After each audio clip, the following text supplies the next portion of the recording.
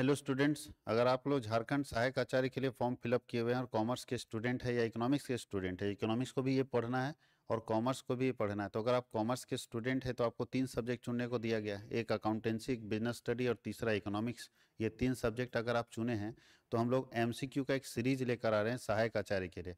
और आपको जानकारी दे दें कि ये सिर्फ़ इकोनॉमिक्स और कॉमर्स के स्टूडेंट के लिए बेनिफिट बेनिफिशियल होगा, क्योंकि हम लोग सिर्फ़ इकोनॉमिक्स और कॉमर्स के स्टूडेंट के लिए ही अभी नोट्स अवेलेबल कर पा रहे हमारे यहाँ अभी इकोनॉमिक्स और कॉमर्स का ही क्लास चल रहा था।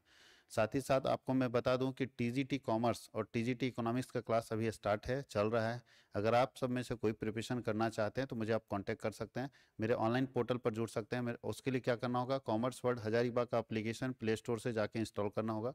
और आप मुझे कांटेक्ट कर सकते हैं या वहाँ से भी स्टोर में जाके आप कोर्सेज परचेज कर सकते हैं और मेरे लाइव क्लास का फ़ायदा ले सकते हैं। क्या क्या कंटेंट मिलेगा क्या क्या सुविधाएँ कॉमर्स वर्ल्ड हज़ार में मिलेगी जो कि बाकी जगह पे नहीं है अवेलेबल है, उस चीज़ को समझिए। बाकी जगह पे बोल तो दिया जाता है बहुत कुछ बट मिलता कुछ नहीं है।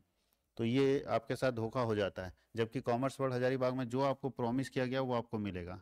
लाइव क्लास होगा, उसका रिकॉर्डेड वीडियो सारा मिलेगा पीडीएफ नोट्स मिलेगा हर टॉपिक का पीडीएफ नोट्स। थोड़ा समय लग सकता है बट क्योंकि सिलेबस बार बार नया कर देता है तो हम लोगों को नए सिलेबस के अकॉर्डिंग यानी ये जो आपका देख रहे हैं कंटेंट ये पूरा एमसीक्यू जो है वो लगभग सात 700-800 एमसीक्यू है तो सारा का सारा जो एमसीक्यू वो आपके पास आ, मिलेगा और आपके सिलेबस के अकॉर्डिंग मिलेगा। कहीं इसमें ये नहीं कि बाकी का कंटेंट डाल दिया गया सिलेबस के अकॉर्डिंग मिलेगा, अगर आप उसको तैयारी करते हैं तो फ़ायदा होगा। इसका आंसर भी दिया हुआ है। आंसर भी हम लोग कर दिए हैं ताकि आपके पास अगर ये पीडीएफ जाए तो आप खुद भी इसको पढ़ सकें। और हम लोग भी आंसर करवाएँगे। एक सीरीज़ हम लोग स्टार्ट कर रहे हैं जो लगातार चलेगा। सारा वीडियो तो हम यूट्यूब के ऊपर नहीं डाल सकते कुछ वीडियो यूट्यूब के ऊपर रहेगा फ्री ऑफ़ कॉस्ट में, लेकिन बाकी क्लासेस के लिए आप मेरे एप्लीकेशन में जुड़ सकते हैं, तभी आपको क्लास का फ़ायदा मिलेगा, क्योंकि बाकी क्लासेस मैं अपने स्टूडेंट्स को दूँगा जो मेरे यहाँ कोर्सेज परचेज किए हुए तो पहले लाइव क्लास है रिकॉर्डेड वीडियो है पीडीएफ नोट्स है एमसीक्यू नोट्स हम लोग अलग से देते हैं मल्टीपल चॉइस क्वेश्चन नोट्स जो ये हम लोग कंप्लीट कर लिया अभी। एमसीक्यू नोट्स हमारा बन चुका है, साथ ही साथ हम लोग टेस्ट भी देते हैं। ये सारी सुविधाएँ आपको मिलेगी। और अब प्रीवियस ईयर क्वेश्चन का हम लोग, अगर प्रीवियस ईयर क्वेश्चन है, आपके पी वाई क्यू है तो इसको भी हम लोग सॉल्व करते हैं। पी वाई क्यू को भी सॉल्व करते हैं। तो ये तो एडिशनल काम है, लेकिन इतना कंटेंट आपके पास अवेलेबल होगा, लगातार आपका क्लास चलता रहेगा। तो चलिए स्टार्ट करते हैं हम लोग। जेटेट सहायक आचार्य के लिए, जिसका अभी एग्ज़ाम डेट फरवरी में संभावित कर दिया गया है। और इसमें वैसे लोग भी जुड़ सकते हैं जो कि सीटेट पास हैं या अदर स्टेट से, झारखंड के अगर निवासी हैं और अदर स्टेट से अगर वो किसी भी तरह का टेट एग्ज़ाम पास है तो वो लोग इसमें अप्लाई कर सकते हैं। उसके लिए हाईकोर्ट का डिसीज़न आया है और फिर से फॉर्म भरने का डेट निकलेगा भी। तो जो लोग सीटेट क्वालिफाई हैं या अदर स्टेट से वहाँ का टेट क्वालिफाई है, लेकिन वो झारखंड के रेसिडेंट होने चाहिए। मतलब झारखंड का नागरिक होना चाहिए। उसके लिए अनिवार्यता ये है कि जब भी झारखंड सरकार तीन साल के अंदर टेट लेगी तो उसके, उसे उस एग्ज़ाम में अटैम्प्ट करके पास करना ही होगा। अगर उस समय वो पास नहीं करते तो फिर उनका जॉब दिक्कत करेगा, उनकी नौकरी में दिक्कत होगी। तो चलिए स्टार्ट करते हैं हम लोग सबका। देखिए, ये पूरा क्वेश्चन डाला हुआ सबसे लास्ट में इसका आंसर डाला हुआ है। सबसे लास्ट में अगर आप चले जाएँ तो इसका आंसर आपको मिलेगा। तो ये पीडीएफ आपके पास रहेगा। सबसे लास्ट में देखिए आंसर यहाँ पे हम लोग डाल दिए हैं। वन से लेके थर्टी नाइन तक। का थर्टी नाइन क्वेश्चन है हम लोगों के पास फ़र्स्ट टॉपिक के अंदर। तो चलिए एक एक करके स्टार्ट करते हैं हम लोग और सब कुछ बताते हैं आपको कि क्या क्या इसमें हम लोगों को पढ़ना है।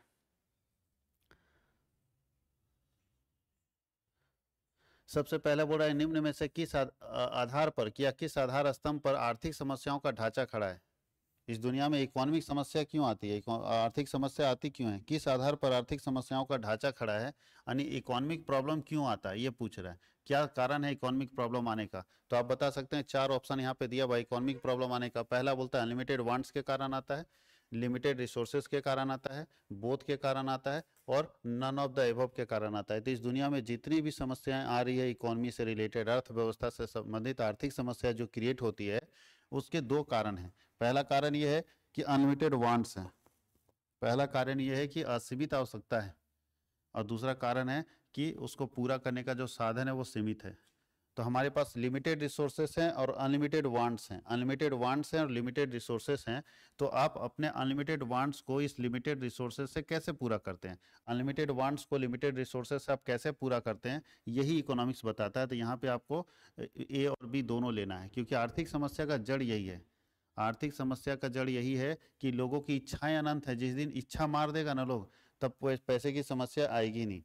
जिस दिन इच्छा मार देगा लोग, इच्छा अनंत जो है उसको लिमिट कर दीजिए। लिमिटेड अगर डिज़ायर आपके पास होगा तो आपका पैसा जो है ये घटेगा नहीं। लिमिटेड डिज़ायर है, लिमिटेड रिसोर्सेस है, कोई प्रॉब्लम नहीं। लेकिन डिज़ायर अनलिमिटेड है, रिसोर्सेस लिमिटेड है तो प्रॉब्लम क्रिएट हो जाता है। तो हमारे पास डिज़ायर अगर अनलिमिटेड, सोचिए हमारी इच्छाएँ, हम लोग क्यों अपने आप को गरीब समझते हैं? गरीब समझने के पीछे क्या कारण हम लोगों को हमेशा लगता है कि मेरे पास पैसे का दिक्कत है, पैसे का दिक्कत है। क्यों हम ऐसा समझते हैं? पैसे का दिक्कत हम लोग इसलिए मानते हैं क्योंकि हमारी इच्छा बहुत ज़्यादा है। एक पूरा होता है तो दूसरी इच्छा आ जाती दूसरी पूरा होती तीसरी इच्छा आ जाती थी इच्छाएँ अनंत है और उसको पूरा करने का साधन क्या है? सीमित है। और इस सीमित साधन में अपनी अनंत आवश्यकताओं की पूर्ति आप कैसे करेंगे? यही बताता है इकोनॉमिक्स और ये ये जो कॉन्सेप्ट है, आर्थिक समस्याओं का जो कॉन्सेप्ट है प्रोफेसर रॉबिन्स ने दिया था। इसको कौन सा दिए, कौन प्रोफेसर दिए थे? प्रोफेसर रॉबिन्स ने दी थी। तो ये प्रोफेसर रॉबिन्स लेडी हैं। उन, उनके द्वारा दिया हुआ ये कॉन्सेप्ट है प्रोफेसर रॉबिन्स के द्वारा।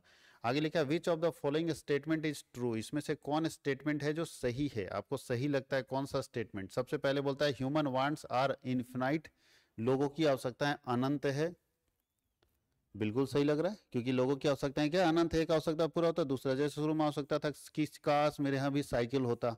साइकिल खरीद लिया तो फिर सोचने लगा मोटरसाइकिल होता। मोटरसाइकिल खरीद लिया तो बोलता कार होता।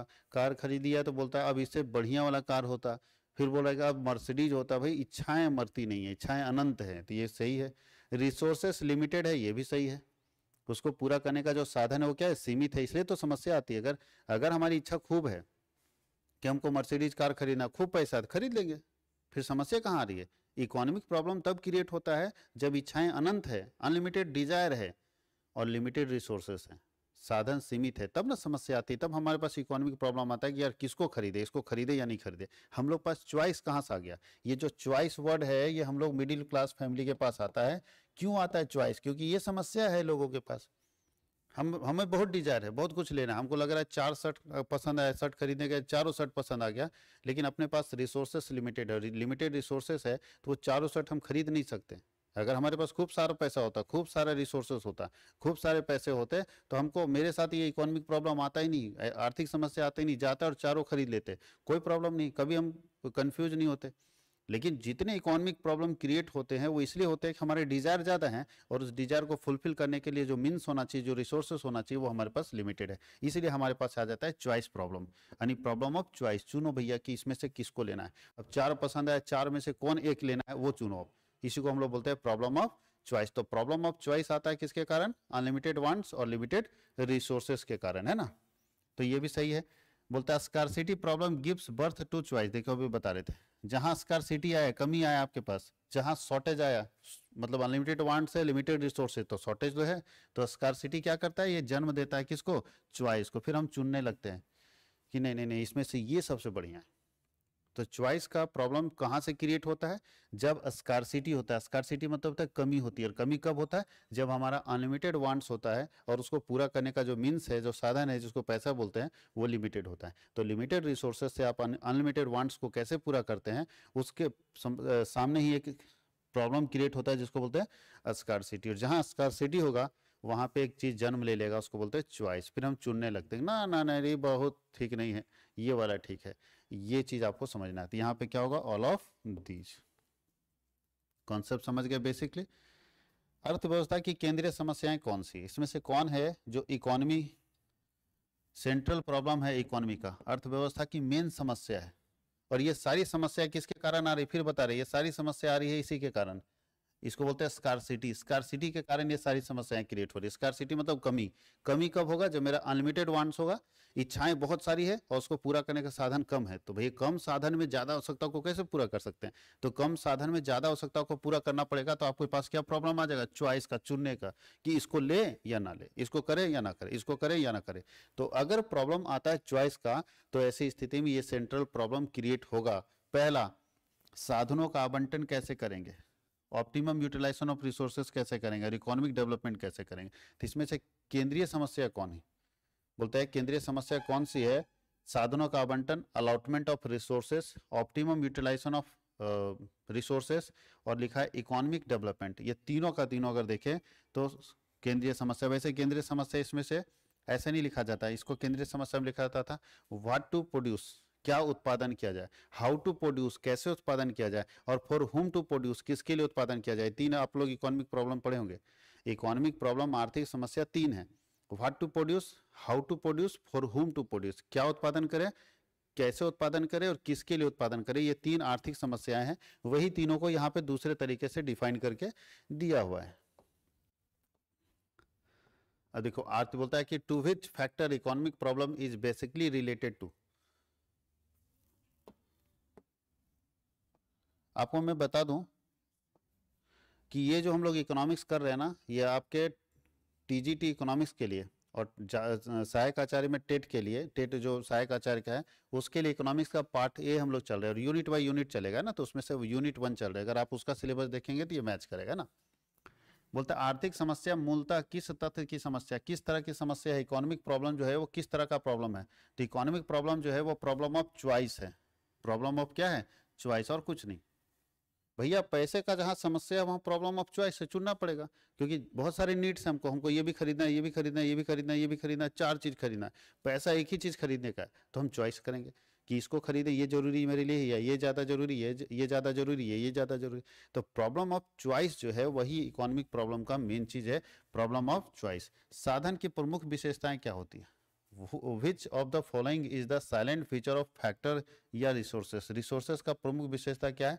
तो बोलता है कि यह मानव आवश्यकताओं की तुलना में सीमित होते हैं। मानव की जितनी आवश्यकता होती हो उससे उसकी तुलना में रिसोर्सेस क्या होते हैं? लिमिटेड होते हैं। ये सही बात है?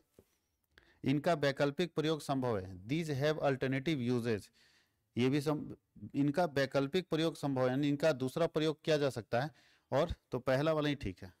प्रमुख विशेषता अगर देखा जाए तो यही है। फ़र्स्ट वाला। हालाँकि वैकल्पिक प्रयोग भी संभव है, ठीक बोल सकते हैं। तो इसका बी सी मार दीजिए, ज़्यादा अच्छा है। इसका क्या मानना है? सी मार दीजिए, ज़्यादा बेटर है। कि वैकल्पिक प्रयोग भी हो सकता है, यानी पैसे का आप दूसरा इस्तेमाल भी कर सकते हैं ना? तो इसका सी मार देंगे तो ज़्यादा बेटर होगा, है ना? वैसे अगर बहुत ज़्यादा अच्छा बोला जाए तो बहुत ज़्यादा अच्छा हमें फ़र्स्ट वाला है। अर्थव्यवस्था की केंद्रीय समस्या है। क्या उत्पादन किया जाए, अभी बता चुके हैं। उत्पादन किसके लिए, किस, कैसे उत्पादन किया जाए और किसके लिए किया जाए? इसका मतलब उपरोक्त तो सभी होगा। तीन समस्या है। क्या उत्पादन करें? What to produce how to produce and for whom to produce किसके लिए उत्पादन करें? ये तीनों केंद्रीय समस्याएँ सेंट्रल प्रॉब्लम है और ये तीनों समस्याएँ एक ही चीज़ क्रिएट करती है, वो है प्रॉब्लम ऑफ़ च्वाइस चुनने की समस्या क्रिएट करती है कि आप कैसे चुनेंगे? तो प्रॉब्लम ऑफ़ च्वाइस क्रिएट करने का काम इसका है। तो प्रॉब्लम ऑफ़ च्वाइस आता है सेंट्रल प्रॉब्लम से, आर्थिक समस्या से। निम्न में से किस अर्थव्यवस्था में निजी क्षेत्र और सार्वजनिक क्षेत्र का सह अस्तित्व होता है? कौन सी ऐसी इकोनॉमी देखिए, दुनिया में तीन तरह की इकोनॉमी है। मैं समझा दू थोड़ा सा जब दुनिया आज़ाद हुआ ना उन्नीस में, उससे पहले की बात तो हम लोग करते नहीं है। भारत आज़ाद हुआ, दुनिया में अलग अलग देश अलग अलग समय में आज़ाद हुए। भारत उन्नीस में आज़ाद हुआ तो उसी तरह से दुनिया के सारे देश, है ना, आगे पीछे, एक दो साल आगे पीछे करके आज़ाद हो गए। तो जब दुनिया में आज़ाद हो गए सब लोग, उससे पहले, उन्नीस से पहले ही दुनिया एक सिस्टम को फॉलो कर रही थी। अपनी इकोनॉमी को चलाने के लिए अर्थव्यवस्था का मतलब होता है पैसे की व्यवस्था। आखिर हमारे यहाँ पैसा कैसे रन करेगा? किस तरह से हम पैसे की व्यवस्था करेंगे? उसी को अर्थव्यवस्था बोलते हैं। अर्थ अर्थ की व्यवस्था करना इकोनॉमी इकोनॉमी का मतलब है कि आपका जो आसपास का मोनेटरी सिस्टम है, आपका जो आसपास का आसपास का इकोनॉमिक पावर है, वो कैसे चलेगा? तो उसके लिए दुनिया में तीन तरह की अर्थव्यवस्था डेवलप की गई। तीन तरह का सिस्टम डेवलप किया गया। और पहला सिस्टम देखिए, ये था कैपिटलिस्ट सिस्टम पहला सिस्टम डेवलप किया गया दुनिया में कि अगर देश को चलाना है ग्रो करना है तो आप कैपिटलिस्ट सिस्टम को फॉलो कर सकते हैं, जहाँ पे बोलता है पूंजीवादी अर्थव्यवस्था या कैपिटलिस्ट सिस्टम। ये सिस्टम क्या बोलता है? ये बोलता है कि आपके देश में सारे प्रोडक्शन के फैक्टर पर जो पावर होगा, अधिकार होगा, वो केवल एक प्राइवेट व्यक्ति का होगा। इसका मतलब है ऐसी इकोनॉमी को आप प्राइवेट इकोनॉमी बोल सकते हैं। यहाँ पे सब कुछ प्राइवेट रहेगा। ऐसी अर्थव्यवस्था में सब कुछ क्या रहेगा? प्राइवेट रहेगा। सब कुछ प्राइवेट क्या सरकार का कुछ क्षेत्र छोड़ के बाकी सब हॉस्पिटल स्कूल सब प्राइवेट होगा। यानी यहाँ पे इस दे, जो देश इस व्यवस्था को मानते हैं वो ये मान के चलते हैं कि ऐसी अर्थव्यवस्था में हर कुछ प्राइवेटाइजेशन के दौर पर चलता है।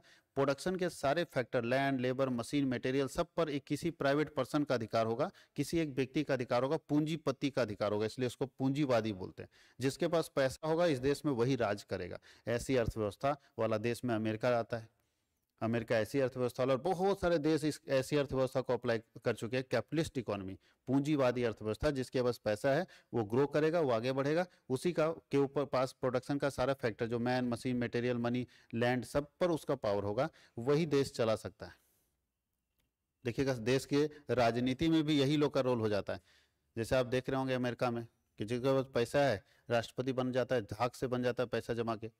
हालाँकि वहाँ भी डेमोक्रेसी है, बट उस तरह का डेमोक्रेसी नहीं है। तो हम लोग देख रहे हैं कि कैपिटलिस्ट इकोनॉमी का मतलब ऐसी इकोनॉमी जहाँ पे सब कुछ प्राइवेट होगा, प्राइवेट इकोनॉमी बोलते हैं, इसको मार्केट इकोनॉमी भी बोलते हैं। इसको हम लोग बोलते हैं market economy, open economy, private economy या कैपिटलिस्ट इकोनॉमी। दूसरा होता है सोशलिस्ट इकोनॉमी इकोनॉमी, समाजवादी अर्थव्यवस्था। यहाँ पे बोलता है सब कुछ सरकारी। सब कुछ क्या है? सरकारी। सब कुछ सरकार का, प्राइवेट कुछ भी नहीं। सब कुछ क्या है? गवर्नमेंट का होगा। प्राइवेट कुछ होगा ही नहीं। अगर आप चीन की बात करें तो चीन पहले इसी इकोनॉमी में था, अभी भी है। रूस इसी इकोनॉमी में है नॉर्थ कोरिया इसी इकोनॉमी में यहाँ पे सब सरकार का होता है, कुछ भी प्राइवेट नहीं, आपका कुछ है ही नहीं, सब सरकार का। अब बताइए, जो ये दोनों लड़ाई चलता है ना वर्ल्ड वार जो हुआ था अब वर्ल्ड वार का कारण अगर सही से देखें तो बिज़नेस बहुत इंपॉर्टेंट है वर्ल्ड वार में बिज़नेस बिज़नेस के कारण युद्ध हुआ, क्योंकि इस देश, इस व्यवस्था को मानने वाले देश अमेरिका के साथ चले गए। वो लोग ये मानते हैं कि जो लोग कैपिटलिस्ट इकोनॉमी अप्लाई करता है, वो देश सबसे बढ़िया है। क्योंकि कैपिटलिस्ट इकोनॉमी मानने वाले देश सबसे अच्छे हैं क्योंकि सब ग्रो कर रहे हैं, सब डेवलप कर रहे हैं अपने आप को। और रूस का मानना है कि नहीं सोशलिस्ट जो है, व्यवस्था को पालन करने वाले देश राज करेंगे। अब दोनों सुपर पावर बनना चाहता था। कैपिटलिस्ट इकोनॉमी वाले देश सुपर पावर बनना चाहते हैं, उसमें सबसे मेन लीडर तो अमेरिका है, ये लोग तो बाकी पिटा रहा था, अमेरिका बच रहा था। समाजवादी अर्थव्यवस्था बोलता है कि नहीं, ये जो सोशलिस्ट इकोनॉमी वाले लोग हैं, ये सोचते थे कि दुनिया पर हम राज करेंगे। और दोनों राज करने के चक्कर में आपस में उलझ गया। अब भारत से पूछा गया किधर जाओगे भैया? कैपिटलिस्ट में या सोशलिस्ट में? तो भारत एक ऐसी अर्थव्यवस्था को चुना जिसमें बोलता नहीं, हम दोनों में से किसी में नहीं जाएँगे। वैसे भी नेहरू जी गुट निरपेक्ष में रहते हैं, नन अलाइंड मूवमेंट में रहते हैं कि हम किसी के साथ जाना पसंद नहीं करेंगे, हम अलग रहेंगे। तो नेहरू जी ने क्या डिसाइड किया कि हम मिश्रित अर्थव्यवस्था रखेंगे। मिश्रित मतलब हमारे यहाँ कैपिटलिस्ट का भी फीचर्स मिलेगा और हमारे यहाँ सोशलिस्ट का भी फीचर्स मिलेगा। यानी हमारी अर्थव्यवस्था में दोनों अर्थव्यवस्था मिलेगी, आपको पूंजीवादी अर्थव्यवस्था भी मिलेगा और समाजवादी भी अर्थव्यवस्था। हमारे यहाँ प्राइवेट सेक्टर भी रहेगा और पब्लिक सेक्टर भी रहेगा। वही आप पूछ रहा है कि कौन सी अर्थव्यवस्था है जिसमें प्राइवेट और पब्लिक दोनों रहेगा? तो मिक्स इकोनॉमी ऐसी इकोनॉमी है जिसमें पब्लिक भी रहेगा और प्राइवेट भी रहेगा। यानी यहाँ हमारे पास सरकार की भी जमीनें हैं प्राइवेट भी जमीनें हैं। सरकारी स्कूल भी है, प्राइवेट स्कूल भी है, सरकारी हॉस्पिटल भी है, प्राइवेट हॉस्पिटल भी है, सरकारी फैक्ट्रियाँ भी है, प्राइवेट फैक्ट्रियाँ भी है, सरकारी बस भी चलती है तो प्राइवेट बस भी चलती है, सब कुछ मिक्सड है हमारे यहाँ। हाँ कुछ सेक्टर ऐसा है जहाँ पे प्योरली सरकार का, जैसे रेलवे, अभी सरकार का है, तब तो तो मेट्रो प्राइवेट हो गया। तो कुछ ऐसा सेक्टर है जहाँ पे प्योरली गवर्नमेंट है। तो याद रखना इसको तो हम लोग मिक्सड इकोनॉमी में जीते हमारे यहाँ दोनों फीचर्स मिलता है, कैपिटलिस्ट इकोनॉमी का भी फीचर्स मिलता है और सोशलिस्ट इकोनॉमी का फीचर्स मिलता है ना? अब देखिए लिखा है समाजवादी अर्थव्यवस्था का मूल उद्देश्य क्या होता है, अभी बता चुके समाजवादी अर्थव्यवस्था, समाजवादी मतलब समझ रहे सब कुछ सरकार का, सोशल वेलफेयर के लिए। देखिए ये ये व्यवस्था ठीक है, अगर सब कुछ सरकार करके दे देती है जनता के लिए तो इससे बढ़िया क्या होगा? लेकिन भ्रष्टाचार नहीं होना चाहिए। अगर भ्रष्टाचार हो गया तो लूटा जाएगा लोग। मान लीजिए सब सरकारी कर रही है, सब कुछ सरकार का है। तो अच्छी बात है, इससे बढ़िया और क्या हो सकता है? खाने का व्यवस्था सरकार कर, सब कुछ सरकार करके दे रही है। तो ऐसा ठीक स्थिति है, लेकिन भ्रष्टाचार नहीं होना चाहिए। तो बोलता है, समाजवादी अर्थव्यवस्था का मूल उद्देश्य क्या होता है? Maximum production, economic freedom, earning profit और मैक्सिमम पब्लिक वेलफेयर। तो जो सोशल, समाजवादी अर्थव्यवस्था, उसका मेन पर्पस होता है कि हमको पब्लिक वेलफेयर ज़्यादा करना है जन कल्याणकारी ज़्यादा काम करना है। ठीक है? बताइए सरकारी अस्पताल क्या कर रहा है? जन कल्याणकारी कार्य ही तो कर रहा है। तो बोलता है कि अधिकतम लोक कल्याण का कार्य करना ही पब्लिक सोशलिस्ट इकोनॉमी का जो फीचर्स होता है, सोशलिस्ट इकोनॉमी का फीचर्स होता है, मैक्सिमम पब्लिक वेलफेयर प्रोग्राम को फाइनल करना, पब्लिक वेलफेयर प्रोग्राम को करना। जैसे हमारे देश में अगर देखें, सरकारी हॉस्पिटल क्या कर रहा है? सरकारी स्कूल क्या कर रहा है? लोग जन जन कल्याणकारी ही कार्य कर रहा है। किस किस अर्थव्यवस्था में कीमत तंत्र के आधार पर निर्णय लिया जाता है? कौन सी ऐसी अर्थव्यवस्था है जहाँ प्राइस मैकेनिज्म के आधार पर डिसीज़न लिया जाता है? सब जानते हैं। भैया प्राइस के आधार पर मार्केट इकोनॉमी में मार्केट इकोनॉमी किसको बोलते हैं? प्राइस के आधार पर डिसीज़न लिया जाता है मार्केट इकोनॉमी में। मार्केट इकोनॉमी किसको बोलते हैं? कैपिटलिस्ट इकोनॉमी को बोलते हैं। तो कैपिटलिस्ट इकोनॉमी में सारे डिसीज़न सो है किसके आधार पर लिया जाता है? कीमत तंत्र प्राइस मैकेनिज्म के आधार पर लिया जाता है। वहाँ पे सब कुछ प्राइस मैकेनिज्म है। जो मार्केट में प्राइस देगा उसके आधार। आगे लिखा है, उत्पादन संभावना वक्र का ढाल कैसे गिरता है? तो जब पीपीसी हम लोग बनाते थे तो पीपीसी ऐसे बनता था। तो इसको क्या बोलते बताइए? ढाल गिरता है किधर से? अगर हम सही से देखें तो बाएँ से दाएँ की तरफ़ गिरता है। तो बाएँ से दाएँ की तरफ़ नीचे, ऊपर से नीचे नहीं, ऊपर से नीचे तो हाँ ऊपर से नीचे की तरफ़। ऊपर से नीचे स्ट्रेट नहीं लिखा हुआ है, थोड़ा सा ऊपर से नीचे अगर ऐसे ऐसे हो जाएगा फिर, है ना? तो ये होगा नहीं। और दाएँ से बाएँ नहीं, ऐसे तो नहीं जाता है, नीचे से ऊपर भी नहीं जाता है। तो फ़र्स्ट वाला ही होगा, बाएँ से दाएँ की तरफ़। बाएँ से दाएँ इसलिए क्योंकि थोड़ा टेढ़ा जाता है ना? स्ट्रेट नहीं आता है। स्ट्रेट अगर आता तो ये वाला कंडीशन भी हो जाता है, ऊपर से नीचे, लेकिन ऊपर से नीचे नहीं आएगा। थोड़ा कर्व बनता है पीपीसी कहीं कोई दिक्कत है? तो दस क्वेश्चन हम लोग देख चुके हैं। अब आगे के क्लासेस में इसके आगे का क्वेश्चन चलेगा और वो लाइव सेशन में आपको मिलेगा एप्लीकेशन के ऊपर भी। और कुछ क्लासेस अभी भी यूट्यूब पे हम डालेंगे हर सब्जेक्ट का। जैसे अभी इकोनॉमिक्स का एमसीक्यू करवा दिए, फिर अकाउंट्स का तुरंत ही जाएगा और फिर बीएसटी का जाएगा। जो जो आपके टॉपिक्स में सारे टॉपिक का एमसीक्यू जाएगा। तो अगर आप अपने अगर आपको लगता है कि वीडियो आपके लिए बेनिफिट कर रहा है, आपके लिए बेनिफिशरी है तो आप अपने दोस्तों को भी शेयर कीजिए और खुद भी देखिए और दूसरों को भी फ़ायदा पहुंचाइए। और अगर आप चाहते हैं कि लगातार एमसीक्यू का क्लासेस केवल ज्वाइन करें, क्योंकि बहुत लोग कहीं ना कहीं क्लास ज्वाइन कर चुके होंगे ऑनलाइन में तो आप मुझे कॉन्टैक्ट कर सकते हैं, मेरा नंबर डिस्क्रिप्शन में दिया हुआ है। आपको एमसीक्यू का क्लास बहुत ही मिनिमम फ़ी में मिल जाएगा। Thank you